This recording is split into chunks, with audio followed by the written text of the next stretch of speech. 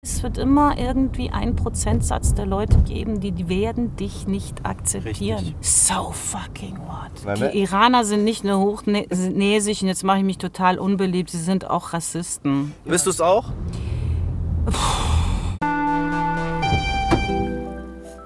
Ah, ah, salam alaikum oh Wie geht es dir? Sie sagt, wie es ist. Rassismus nervt. Ihre eigenen Vorurteile kann sie aber auch nicht immer abstellen.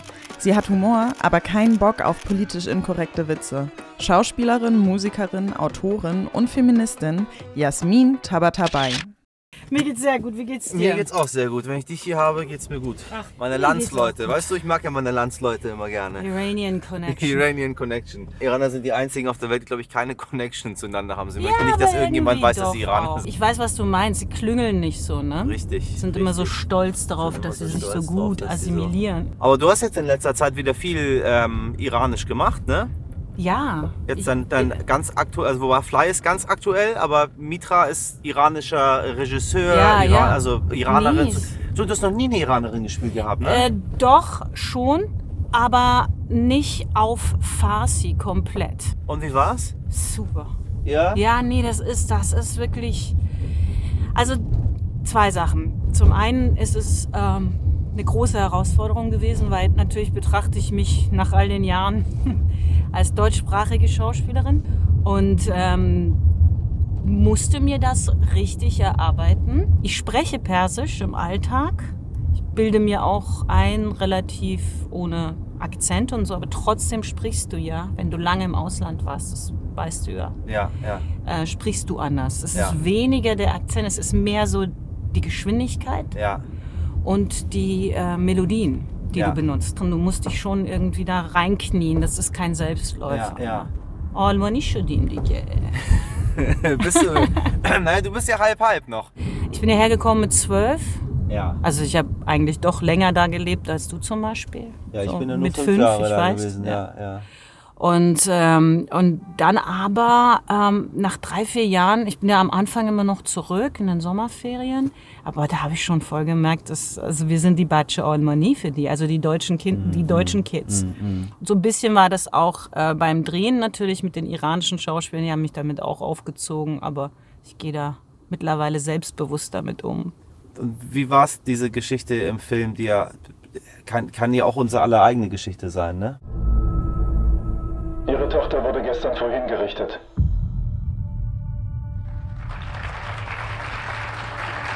Dieses Jahr haben wir das 40. Jubiläum der Islamischen Revolution.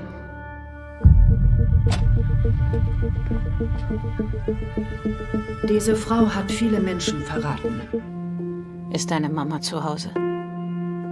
Sind Sie Iranerin? Und für all dein Leid willst du keine Rache? Das verstehe ich nicht. Was wissen Sie denn über mein Leben?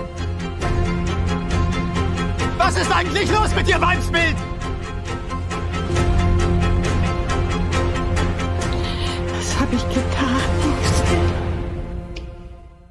Nein, das ist ja die eigentlich so ein bisschen die Familiengeschichte von Corve Modiri, der Ja. Regisseur und Autor. Dessen Schwester wurde ja tatsächlich Anfang der Revolution so, weißt du, so 81, 82 Ja. gab es doch die ersten großen Hinrichtungswellen. Ja. Also die Mujahedin haben sie, also die ja im Iran die Linke waren. Richtig. Und sie war im bewaffneten Kampf im Untergrund, Ja. die Mitra. Chupanzadeh, ihr Vater wurde vom Schah hingerichtet und sie selber von Khomeini, also von den neuen Machthabern. Ja. Und das ist eine echte Geschichte. Und sie wurde damals sozusagen verraten von ihrer Freundin. Und Korve hat erzählt, er hat schon diese Geschichte immer als Kind gehört. Sie ist eine Halbschwester, also er wurde sogar, er ist in Holland aufgewachsen und der hat dann immer sich so vorgestellt, was wäre, wenn Ja. meine Mutter diese Frau finden würde, die ihre Tochter verraten hat. Ja. Und das ist die Geschichte des Films. Das ist also eine What-If-Geschichte. Und jetzt komme ich zu dem zweiten Punkt. Das ist natürlich schon irre, wenn du dann auf Persisch spielst. Ähm, es ist wie wenn ich auf Persisch singe. Ja. Das, ich kann es gar nicht wirklich erklären, aber es geht eine andere Tür auf. Das ist das Und, Schöne an ja. diesen zwei Heimaten in sich drin zu Ja. haben. Es ist äh, nur eine Bereicherung, letztendlich. Für mich immer gewesen. Natürlich passiert das nicht ohne Reibung, ohne Widerstände, ohne, ohne auch Identitätsfindung. Ja. Das war bei mir mit 14, 15 natürlich extrem. Habe ich so gemerkt, oh Gott, ich verlerne die Sprache. Oh Gott, ich muss. Dann habe ich mich so dagegen gewehrt, hat ganz viel geübt. Habe die Schrift geübt, dass die sich von diesem Krakeln der Kinder weiterentwickelt. Du bist ja richtig, wie, wie, wie viele Jahre bist du zur Schule gegangen? Vier? In Teheran, nee, bis zur sechsten. Bis zur sechsten? Ja, stimmt, zwölf warst du, stimmt. ja, ja, Du bis hast zur richtig, sechsten. Nee, nee, ich, ich habe auch... Hast du voll gemacht quasi. Ja, ich war allerdings auf der Madison ne? Also ich war Ja. auf der deutschen Schule Teheran. Aber da wurde auch Persisch geschrieben. ja, wir hatten Persischunterricht. Kannst du denn heute noch alles? Schreiben? Ja. Ja, kann ich schon, ja. Aber ich sage immer, mein, mein Farsi-Stand ist halt der, wenn ich ehrlich bin, der eines zwölfjährigen Kindes. Meine Großmutter war, war Persischlehrerin. Grundschullehrerin. Ah, Und dann musste ich immer, ich habe es gehasst. Ne? Ich, alle anderen Kinder haben gespielt, ich musste Ja. dann noch Persisch, Alef, B, Baba, Abdot, Baba, Nandot, Sara, Baba, Das, Dot, Nandot. Sara, Nandot. Hast du, bist du, bist du in. Hamburg bist du aufgewachsen? Ja, richtig, ja, ja. Also in der, Enkla in der In der Iraner Enklave. Enklave, genau. Hamburg. Hamburg, Ja, haben so. wir schön äh, Die einzige Stadt neben. Frankfurt, Genau, die sie akzeptieren. Richtig, Berlin genau, finden genau. sie ja fürchterlich eigentlich. Warum ist das so? Wenn ich hierher komme, der einzige Stadt, der mich magisch anzieht, ist Charlottenburg. Alles andere mag ich nicht. Soll ich jetzt eine ganz böse Antwort darauf sagen? Äh, Die Hochnäsigkeit der Iraner, ne? Die Iraner sind nicht nur hochnäsig und jetzt mache ich mich total unbeliebt, sie sind auch Rassisten. Ja, Let's face sie. it. Das sind sie, let's face it, ja. Also das stimmt. das Ja, muss man das auch dazu sagen. Ja, ich, ja, ja. Also es geschieht zwar alles immer auch so auf so einem humorvollen Weg, Aber sie sind es. aber aber aber sowas. Bist du es auch? Ich habe sicherlich auch Stereotype im Kopf. Ich mache sie mir bewusst und ich versuche es nicht zu sein und ich versuche ganz aktiv äh, Dagegen vorzugehen, ne? ja, das auch zu benennen, Ja, zu ja. erkennen. Und das ist mir ja schon auch sehr wichtig. Also gut, ich bin natürlich sehr bei der Frauensache immer dabei gewesen und immer sehr, weißt du, Feministin, gegen Sexismus Ja, nach vorne und so weiter. Und, ähm, und das geht aber alles Hand in Hand. Ich denke, es ist auch immer recht heilsam, wenn gerade auch wir Iraner uns auch anschauen, was wir so letzten Endes für Rassismen Du, das mit ist- uns rumtragen. Das ist sehr wichtig. Aber das funktioniert schon ganz gut. Irgendwie Ja, sind ja, sie, ich ja. glaube, die Iraner sind ganz, sind ganz lernfähig. Und die Iraner im Iran haben sich verändert. Also ich krieg halt alles über meine Nichten mit, die natürlich da aufgewachsen sind, alle mittlerweile hier studieren, hier leben, hier arbeiten und so. Ja, ja. Aber ich selber fahre ja eigentlich seit dem Tod meines Vaters fahre ich nicht mehr hin. Also 87 war ich das letzte Mal da. Hast du einfach entschieden, nicht mehr hinzufahren?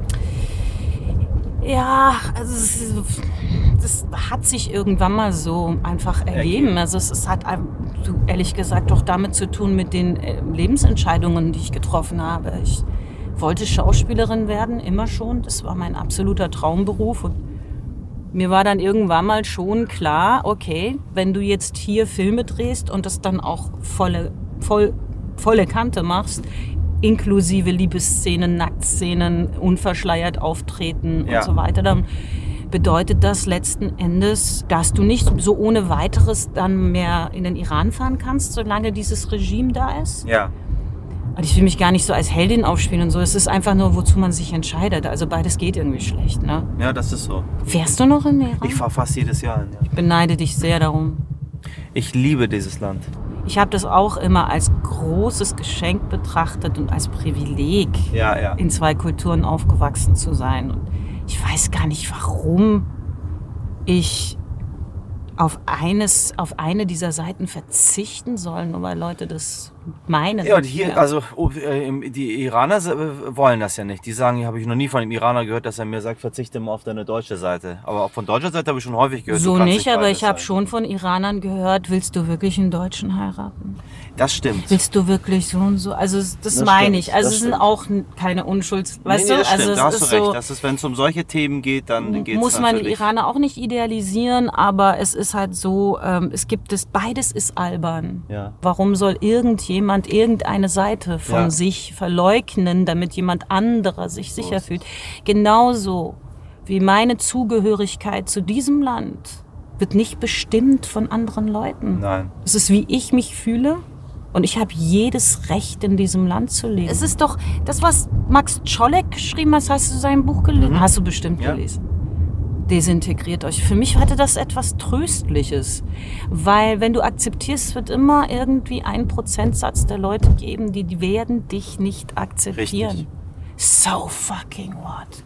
Das Problem kommt ja auf, wenn diese Leute in, in Entscheiderfunktionen äh, drin sitzen und dir versuchen, das Leben in allem, was du tust, schwer zu machen. Und dann gibt es immer auch welche, die nicht so sind und nicht so denken, die Natürlich. auch in diesen Positionen liegen. Und dann musst natürlich. du halt kennen, es ist halt unsere Herausforderung. Ja, ich meine, Da es, nicht es, klein Es beizugeben. bleibt immer eine Herausforderung. Und diesen so? Platz in der Gesellschaft auch zu fordern. Richtig. Das ist natürlich, merke ich auch, mich nervt es auch. Mich, mich, mich, ich habe das extrem, als, als gerade dieses Sarrazin-Buch rauskam, Ja. 2010, da, da hatte ich gerade mein, mein Buch hattest geschrieben du gerade über dein Buch über deine und, äh, und Heimat und Herkunft auf, und auf Zuhause. Ja, ja, richtig. mit ja, diesem genau. und habe gedacht, sag Ja, mal, was ja. ist denn hier los? Plötzlich wurde ich ungelungen in jedem Interview nach meinem Glauben gefragt. Was ich denn mein und ich immer so, was meinen Sie denn mit meinem Glauben? Ja, also ich meine, Entschuldigung, Sie sind ja Mus. Da habe ich gesagt, äh, sehen Sie mich eigentlich? Haben Sie irgendwas gesehen, was ich gemacht habe? Dann könnten Sie mir nicht ernsthaft die Frage stellen, ob ich religiös bin Ja, richtig. ja, oder praktizierende äh, Muslime, weil dann würde ich jetzt hier nicht so sitzen, So sitzen. vor ihnen Ja, ja, und so weiter. Mein deutscher Mann wird nie nach seinem katholischen Glauben befragt. No, und das sind dann, gut, aber das sind, okay, das ist jetzt auch schon eine Weile her, aber das war wirklich, äh, tut mir leid zu sagen, der Türöffner. Schon, ganz sicher, das sehe ich genauso. Sarrazin war der Türöffner. Ja. Und dann ging diese, dieses, dieses trotzdem- Recht, dieses vermeintliche Ja. Recht, diese Fragen stellen zu dürfen. Ich glaube, eine der wichtigsten Sachen im Moment, ähm, die es zu lernen gibt für uns alle, ist, dass wir einfach äh, empfindsamer werden und offener für Ismen, die uns nicht selber betreffen. Richtig. Wie oft wird dir als Frau erklärt, das hat mit Sexismus nichts Na, zu es hat tun. nichts damit zu also, tun, ja. Immer so. Und ich glaube, dass diese Sprüche, die können wir uns alle vornehmen, einfach grundsätzlich zu lassen. Richtig. Wenn jemand kommt und sagt, ich habe Rassismus erfahren, ein, ein schwarzer Mensch, dann sagt man nicht, äh, es hat mit Rassismus jetzt nichts zu tun. Das ist einfach, der hatte einfach einen schlechten Tag. Ja. Als ich ein junges Mädchen war, eine, eine junge Schauspielerin, das war gang und gäbe äh, homofeindliche Witze am Filmset und sexistische Witze am Filmset. Und was haben wir gemacht? Wir haben es so weggelacht, damit wir irgendwie cool sind und haben noch einen härteren Spruch zurückgemacht und so weiter. Das sind Sachen, das habe ich mir auch komplett abgewöhnt. Wenn jemand irgendeinen blöden Spruch macht, dann Da lache ich nicht mehr gelacht. drüber. Richtig. Also kann man sagen, oh ja, es ist alles so freudlos und humorlos, aber du musst ja mal überlegen, für wen ist das ein Spaß und für wie viele Leute ist es kein Spaß. Ja, richtig. Und es ist im, äh, ganz oft ganz bestimmt nicht böse gemeint, aber es ist wahnsinnig nervig. Ich sehe es, ich habe ja auch eine 18-jährige Tochter und ich sehe ja auch, was dieser Generation extrem wichtig Ja. ist. Es sind tatsächlich wirklich auch solche Genderfragen. Und wirklich eine, äh, eine Gesellschaft wollen die haben, wo alles vorkommt und alles sein darf. Ja. Meine Tochter ist viel strenger als ich Ja, mit, mit ja. diesen ganzen Sachen. Ja, ja, ja. Also, Es war eine schöne Fahrt mit dir. ja, es ging so schnell vorbei. Also, wenn du ich Fahrer brauchst, nächstes Mal sagst du Bescheid. Ich fand's super. So. Es war mir eine große Freude. Ebenso. Pass auf Mach's dich auf. gut. Tschüss. Bis dann. Tschüss, Bye, tschüss. bye.